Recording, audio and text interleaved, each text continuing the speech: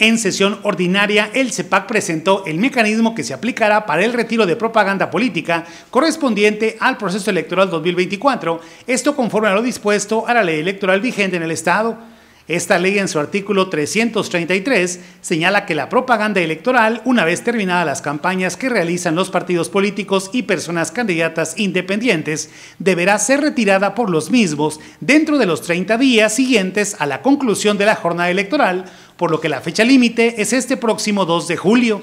La consejera presidenta del organismo, Paloma Blanco, hizo un llamado a los partidos políticos para cumplir con el retiro de la propaganda electoral dentro de los plazos establecidos y dar puntual cumplimiento a esta responsabilidad. Es importante mencionar que en caso de que no se cumpliera con el retiro de la propaganda, el CEPAC establecerá el procedimiento respectivo para el retiro de la misma, con cargo a las prerrogativas de cada partido político.